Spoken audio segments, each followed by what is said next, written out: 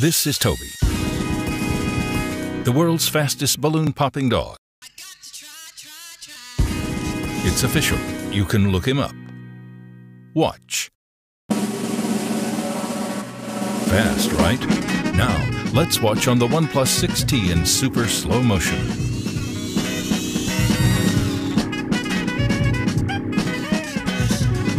Good boy, Toby.